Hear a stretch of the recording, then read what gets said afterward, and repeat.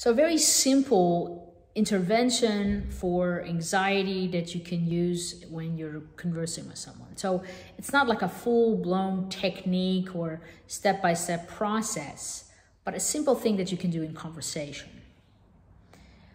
What people do when they're experiencing anxiety, there's a specific coding going on inside the brain. And I'm not talking about general anxiety that's caused by often um, trauma or something like that.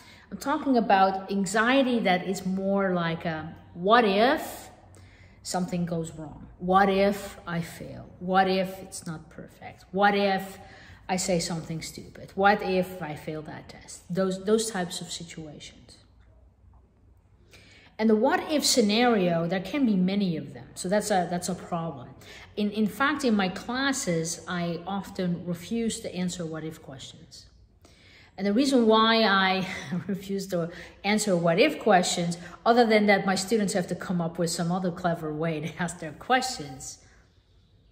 The what if question, what if I fail my first coaching session? What if I can't help that client?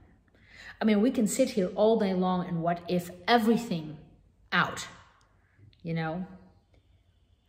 So, what is it that you then do to kind of cut off the conversation to not spiral down into the what if this, then that, and then it will be more awful, and no, no, no. Usually it spirals down into we're all gonna die, or it starts over again, yeah, then it will be really bad, and then I'll have anxiety, and it just starts all over again.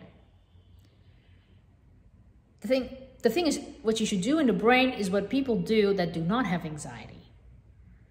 What is it that they tell themselves? They're shy of techniques.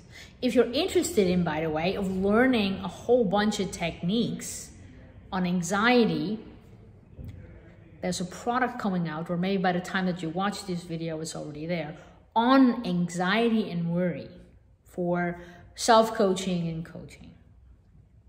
I also do online training, and in Mexico, Bali, Miami, Venice Beach, Amsterdam, I give full training in NLP, which is the study of the successful, teaches you how to use your brain, thoughts, behaviors, and emotions, some of the most powerful coaching techniques out there, personal, personal development techniques out there.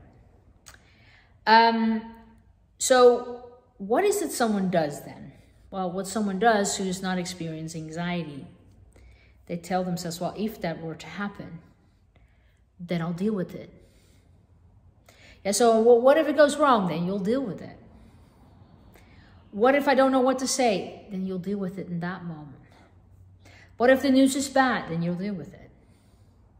And what that, that the what then the then you will deal with it does, it kind of stops the conversation it can stop the spiral down, so to speak.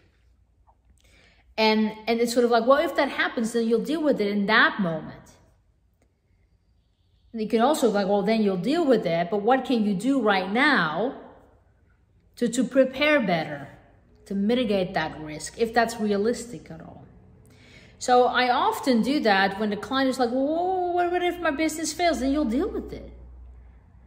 Well, what about if fails? Then you'll, if well, it depends on what the obstacle is. And in the next video, I'm going to talk about obstacles. So that's for next week. See you around.